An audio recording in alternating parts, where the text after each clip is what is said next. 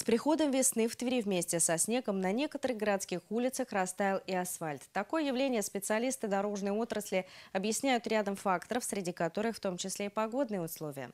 В этом году капризов зимы не выдержало и дорожное полотно на улице Хромова для водителей. Участок от Паши Савельевой до Санкт-Петербургского шоссе стал полосой препятствий с ямами едва ли не по колено. После многочисленных жалоб граждан и приезда на место нашей съемочной группы ситуация изменилась. Этой зимой столбики термометров в Тверской области скакали от рекордно низких до рекордно высоких цифр, что не могло не сказаться на состоянии дорожного полотна. Больше всех за минувший сезон пострадал участок улицы Хромова от Петербургского шоссе до улицы Паши Савельевой. Капризы погоды, плюс, как посетовали автомобилисты, интенсивное движение большегрузов превратили асфальт в руины.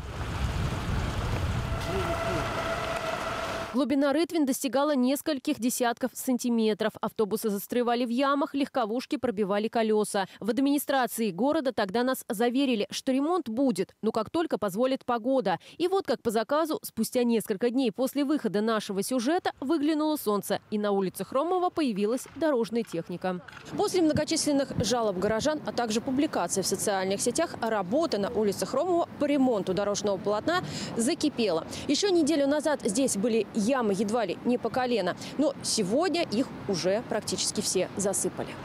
Сейчас на аварийном участке ямочный ремонт в самом разгаре, в связи с чем движение автотранспорта по улице Хромова от Паши Савельевой в сторону Петербургского шоссе перекрыто. В обратную сторону проезд пока открыт. Ремонт осуществляет столичный подрядчик. Представитель компании пояснил, что асфальт был изношен так, что повреждено основание.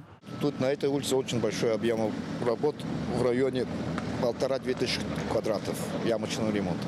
Выкачиваем воду, сушим и как бы продуваем, и как бы восстанавливаем основание и укладываем асфальт. Это мелкозернистый асфальт тип Б марки 2. Работы будут завершены к концу марта, также пояснил представитель компании-подрядчика. Депутат Гордумы Дмитрий Нечаев, который проинспектировал ход работ, отметил, что в данном случае запустить так оперативно процесс ремонта удалось благодаря активной гражданской позиции горожан и заинтересованности городских властей. Многострадальная улица Хромова, да, очень много поступало обращений от жителей города, от автомобилистов в первую очередь, о ее, ну так скажем, мягко ненормативном состоянии. Да. К счастью, как говорится, и на нее пришел праздник. Вот здесь отреагировала администрация города и в первую очередь начала вот, э, ну, полукапитальный ремонт делать.